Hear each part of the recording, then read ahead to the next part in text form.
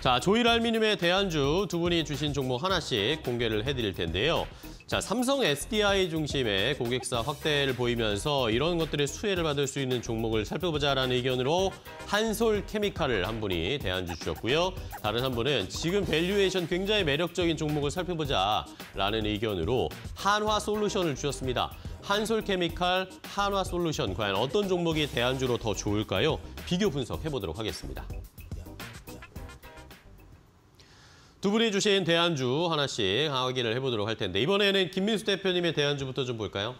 네, 어, 한솔 케미칼입니다. 네. 어, 이 회사는 라텍스와 과산화수소 딱 두 가지만 보면은 회사 얘기를 다 할 수 있겠죠. 네. 근데 특히 라텍스 같은 경우는 제가 보통 보기를 한솔 재질을 보완하기 위해서 네. 어, 처음으로 재지 산업 쪽에 들어가는 부재료로 어, 회사가 성장하기 시작했다가 어, 우리 소재 쪽을 계속 키우자라는 쪽에서 과산화수소를 또 키우면서 반도체 디스플레이 또 거기도 또 제지도 들어가죠. 제지 쪽에서도 첨가되죠. 그러다 보니까 이런 쪽이 더 커지고 있는 가운데 하다 보니까 잘하네. 어, 그래서 좀 더 확대시키자라고 해서 어, 고분자 응집제라든가 차아황산 소다 그리고 또 BPO라고 하는 어, 중합 개시제 같은 경우도 같이 확대가 되고 있고요. 네. 어, 그런 관점에서 지금 어, 소재 쪽이 커지다 보니까 IT용 소재에 대해서 계속 더 확대가 되고 있는 그런 추세고요.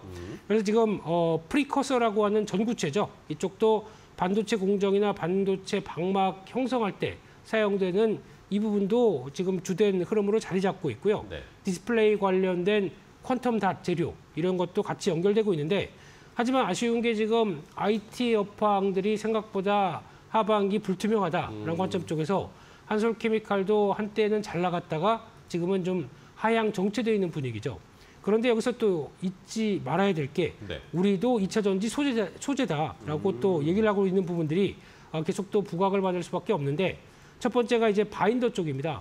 이 음극 바인더, 분리막 바인더라고 얘기하는데 어, 음극 바인더 같은 경우는 거의 일본산이 대부분을 차지했었지만 이를 대체하기 시작하면서 하나의 성과를 내기 시작을 하고 있고요.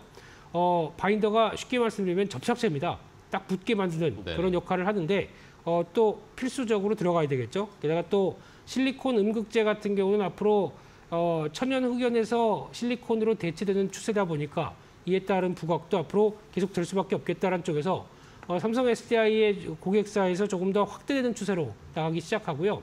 또 하나 눈길이 가는 게 테이펙스죠. 이쪽도 2016년도 인수를 해서 어, 포장 어, 쪽에 전문이었던 회사를 2차 전지용 테이프까지 확대시키면서 시너지를 키운다라고 하게 되면 어, 역시나 기대감이 높아지는데 올해 실적의 예상치를 보게 되면 어, 업황이 안 좋다고 하더라도 괜찮습니다. 네. 지금 뭐 매출이 19% 늘어서 9천억 대 그리고 영업이익은 2,200억 대로 12% 늘어날 걸로 보여지고 있는데 물론 뚜껑은 열어봐야 되겠지만 지금 나오고 있는 추세 쪽에서 상호 보완되면서 나오는 실적들이 그렇게 크게 이탈하지는 않을 것이다라는 관점 쪽에서 어, 무게를 둬야 될 걸로 보여지고 있습니다. 알겠습니다. 자, 한화 케, 한솔 케미칼을 주셨습니다. 김민수 대표님은 헷갈렸네요. 제 한솔 케미칼. 한솔 케미칼도 역시 2차 전지와도 또 연관이 될 수밖에 없다라는 그런 쪽의 포인트도 짚어주시면서 이 한솔 케미칼의 앞으로의 주가 추이도 저희가 지켜보도록 하겠습니다. 일단은 어, 대안주를 주셨고 김학준 대리님의 대안주도 보겠습니다. 한화 솔루션입니다. 네. 네. 뭐 하나솔루션 같은 경우 뭐 워낙 유명한 네네. 어, 회사고 사업 내용 따로 안 드리도록 하겠습니다. 그래서 2년 전에 어, 하나케미칼, 그다음에 하나 첨단 소재, 하나 큐셀 이 세 종목, 이 세 기업이 통합이 되면서 만들어진 회사다라고 보시면 되겠고 어제 이제 2분기 실적 발표가 나왔습니다. 어제 급, 급등했는데. 네. 네네네. 실적이 이제 최대 실적이 나오면서 영업이익이 2,777억이 나오면서 전년 동기 대비해서 26% 정도 성장을 했습니다. 네. 이 법인 통합 이후에 2년 만에 최대 매출이고 영업이익도 최대 영업이익입니다. 컨센서스가 1,600억대였는데 그보다 이제 1,100억 가량 더 더 나온 거거든요. 그래서 어닝 서프라이즈 나오면서 전일 20% 넘게 상승을 했죠. 그 상승의 이유는 이제 고유가가 지속이 되면서 그 수혜를 봤다라고 좀 보시면 되겠습니다. 그래서 러시아 우크라이나 전쟁 사태 같은 것들 그런 지정학적 리스크들이 계속 지속이 되면서 고유가가 계속 지속이 됐죠. 네. 그러면서 반대급부로 어, 신재생 에너지 쪽으로 수요가 많이 늘어났다라고 보시면 되겠고 동사 같은 경우는 또 친환경 에너지뿐만 아니라 석유화학 쪽도 산업을 하고 있기 때문에 가성소다와 같은 이제 동사의 주력 제품들이 있습니다. 네. 그래서 친환경 에너지, 석유화학 산업 이 둘 다 가져가는 어, 산업 포트폴리오 때문에 그게 강점으로 작용했다라고 보시면 될 것 같고 특히 이제 적자가 이제 지속이 되던 태양광 섹터가 어, 7분기 만에 흑자 전환을 오. 예, 했습니다. 그래서 시장에서는 당연히 어, 적자 날 거다.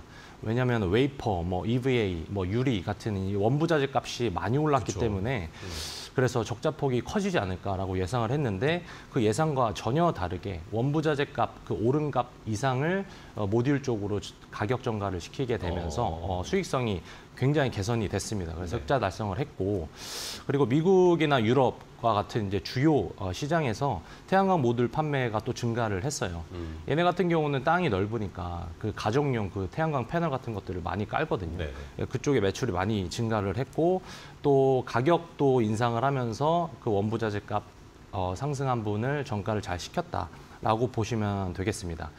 그래서 이 태양광 섹터는 계속 어, 전망이 좋을 것으로 보이고요. 밸류에이션을 보시면 PER이 현재 10배 정도 수준이거든요. 그리고 내년 영업이익 예상치를 보면 1조 이상 나올 것으로 예상을 하고 있습니다. 그래서 이 실적도 숫자가 잘 찍힐 뿐만 아니라 아, 글로벌 태양광 시장의 이제 펀더멘탈이라든가 센티멘탈 둘다 개선되는 것을 봤을 때 어, re-rating을 좀 해줘야 되지 않나 아, 예상을 해서 기존 대비 최소 10% 정도 할증을 어, 해야 된다고 해야 된다고 봅니다. 그리고 어제만 해도 기관이나 외국인이 200만 주 이상 어, 순매수를 하면서 어, 20% 이상 가격이 급등했고 골든 크로스 났고 거래량 터졌고 하기 때문에 이 트렌드는 어, 꺾이기가 쉽지가 않다라고 판단이 됩니다. 알겠습니다. 어제 실적 발표하고 나서 좋은 호재가 터졌습니다. 거래량도 터지고 시장의 관심도 한 몸에 받았는데 한화솔루션 그러면 가격 전략 어느 정도 지금 또 어제 또 갑자기 올랐으니까 지금 또 바로 들어가기도 약간 부담입니다. 가격 전략 좀 제시해 주실까요? 가격은 현재가가 42,250원이잖아요. 네. 근데 저는 지금 가격도 괜찮다고 괜찮나요? 봅니다. 오. 왜냐하면 전고점을 일단 뚫었기 때문에 네. 예, 그래서 지금 진입해도 상관없다라고 볼 수가 있고 네. 목표가는 이제 4만 7천 원 정도 말씀을 드리고 손절가는 4만 원 정도 말씀드리도록 하겠습니다. 알겠습니다. 하나솔루션 어제 뭐 급등했지만 지금 가격도 충분히 저렴하다라는 그런 의견을 주셨습니다. 한화솔루션 제안 제안해 주신 가격 받고요. 이번에는 한솔케미칼 김민수 대표님은 어떻게 가격 전략 제시해 주실 건가요? 네, 어, 일단 패턴이 많이 밀렸고 네. 돌아서려고 이제 막 노력하는 자리 같고요. 네. 어, 그런 쪽에서 지금 가격대 그러니까 시총이 지금 2조 4천억 정도 되는데 음. 어, 예전에 한, 한참 어, PR 계산하게 되면 20배 넘어갔던 회사가 지금 영업이익 2천억대에 시총 2조 4천억 많이 싸졌죠. 음. 그렇기 때문에 변화가 나온다라고 하게 되면 한 22만 원대 전후에서 들어가는 전략 나쁘지 않을 것 같고요. 목표가는 1차로 지난 고점 대가 이어갔던 25만 원대 그리고 손절가는 20만 5천 원으로 말씀드리겠습니다. 알겠습니다. 자, 두 분이 제안해 주신 한솔 케미칼과 한화 솔루션 오늘 시장에서 여러분들 한번 잘 체크를 해보시기 바랍니다. 과연 오늘도 올라갈 수 있을지 저희도 한번 지켜보도록 하겠습니다. 자, 마지막으로 좀 두 분께 그러면 오늘 시장에 대한 간단한 코멘트 좀 부탁드릴까요? 오늘 어떻게 좀 준비하고 계십니까? 김민수 대표님, 네, 애플, 아마존, 예, 부럽습니다. 잘 네, 나왔습니다. 네, 이런 효과가 국내 시장에서도 그래도 좀 훈풍이 불기를 오늘도 바라보겠습니다. 알겠습니다. 과연 오늘 우리 시장도 미국 시장처럼 상승을 이어갈 수 있을까요? 자, 김학준 대리님은 오늘 시장 어떻게 준비하고 계세요? 저는 대세는 여전히 친환경이다라고 말씀을 드리고 어. 싶습니다. 그 ESG 트렌드가 작년부터 계속 이어지고 있고 ESG의 제일 앞에 E가 environment 친환경이잖아요. 네네. 그 친환경 쪽으로 집중을 해보시는 게 어떨까 아, 조언을 드리겠습니다. 알겠습니다. 친환경 쪽에 한번 잘 포커스를 맞추면서 저희가 포트를 생각을 해보자라는 의견을 주셨습니다. 자, 오늘 두 분 좋은 말씀, 좋은 종목도 소개해 주셔서 감사하고요. 어, 다음에 또 뵙도록 하겠습니다. 고생 많으셨습니다. 고맙습니다. 감사합니다.